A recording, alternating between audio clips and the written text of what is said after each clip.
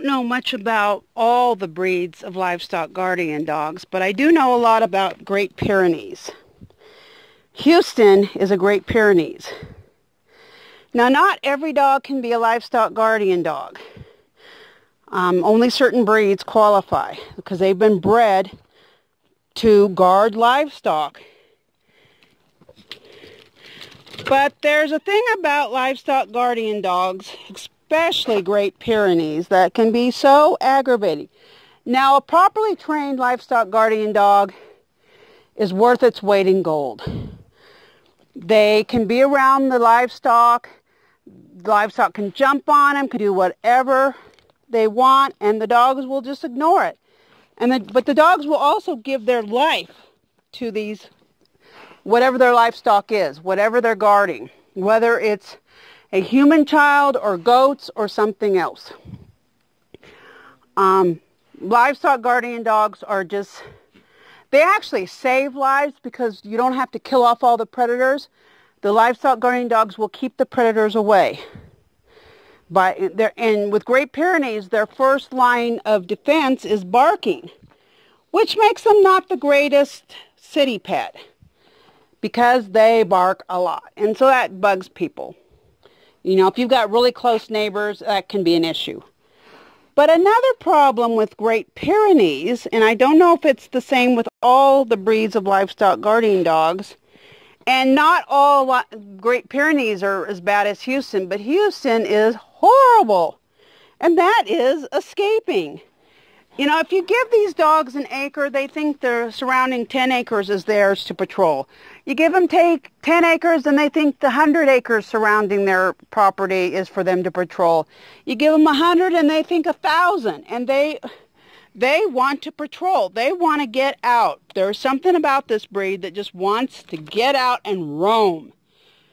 Well, yesterday I came out here with Prairie, let Prairie out, and I came with a wagon, and I decided, because I was going to be right here picking up rocks. I, there was a whole bunch of rocks right here, and I picked them all up, put them in my little garden cart, and hauled them away.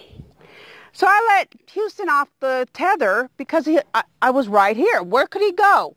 I was right here. Well, I'm keeping an eye on him, looking up ever so often, and all of a sudden, I see Prairie, but I don't see Houston. So I walked all along the perimeter of the fence. No escape route. There was no digging anywhere, but there was clearly no dog. I mean, it was no doubt in my mind, Houston had gotten out somehow, and I was just baffled. I'm thinking, did he? I know he can climb over the the four foot fence here. I've, I mean the gate. I've seen him climb over the gate, which is why we have wire welded to the other gate. That's to block dogs from climbing over. Sarah will do that. And so all the outside gates have to be wired. Um, saw this on a, another, what was a um, rescue.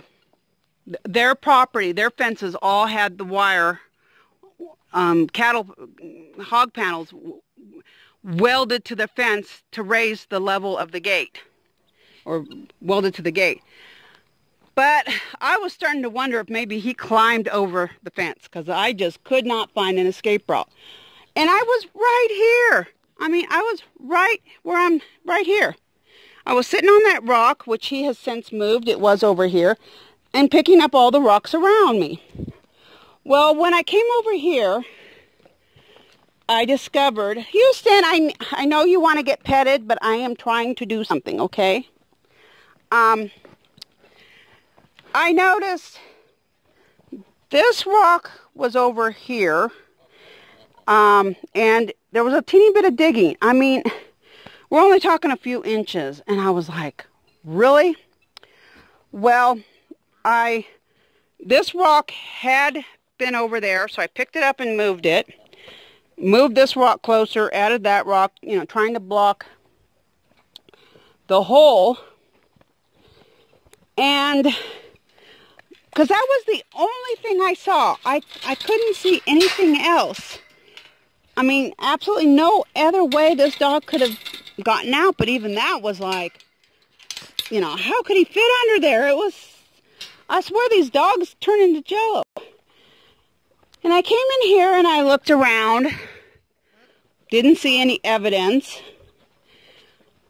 I didn't see any fur on any of these pallets. But the only way I can think that Houston got out was that he climbed up the pallets and went through these holes. Now over here, there's fencing. This is protected. But right here, it ends and then these are all open. And I'm thinking he just climbs right up over the pallets and through those holes. Those holes are plenty big. If this dog can squeeze through that teeny little hole there, he can get through there. So, and I know for a fact he got out. I, after filling up the wagon, I took Prairie and we walked down the driveway to an area where I dumped all the rocks and when coming back, Houston came up to greet us. And I was able to grab Houston's collar and bring him back and I put him back on the tether so he can't escape again. But that tells me, I mean, there was proof he got out and that's the only way I can think that he got out. Now I do have scraps of fencing around. Um, definitely the scraps aren't big enough to cover that big of an area, but they can cover little bits of it. So I'm going to get some of that scrap and I'm going to do what I can to just cover this whole area so that he cannot get out at this location. So if you are thinking of getting a livestock guardian dog, yes, go ahead and do it. But first, check your, I mean, do your research. How many acres do you need to patrol? What do you need the dog to do? Um, what breed? You know, there are some breeds that don't bark as much, but they're more aggressive. And if you have a lot of neighbors, and maybe those neighbors have children or something, and you only have two, three, four, five acres, that may be a horrible decision because the dog may bite. There are certain breeds of livestock guardian dogs that are more likely to be aggressive, more likely to bite.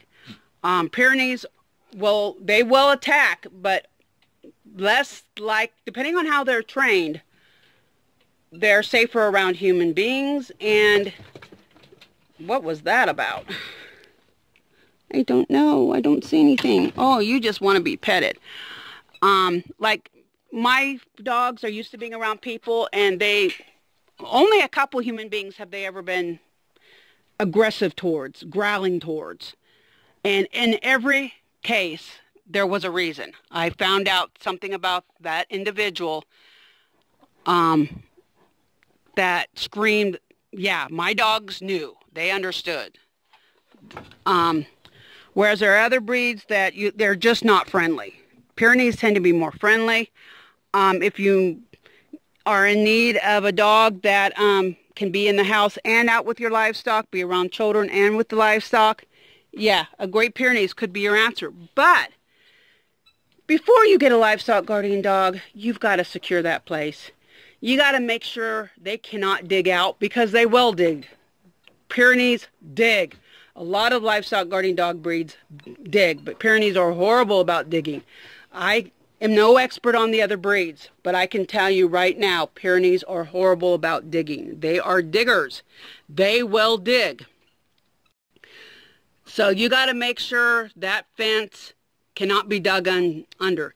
They will climb over fences. I don't know about a five-foot fence. Mine don't climb over the five-foot fence, but four feet are no problem. They will climb over a four-foot fence like it's not even there. Um, so you got to keep that in mind. A lot of people do electric fencing. I have issues about electric fencing um, because of all these rocks and stuff. Um, but that may be something. You may want to install electric fencing around your paddocks to keep the dog in. So if you're looking at getting a livestock guardian dog, do your research. Know which breed you want to have on your property. Educate yourself and get your infrastructure set up before you get the dog. Because it can be a nightmare of dogs escaping all the time if you don't. Um, so I just wanted to share that with you.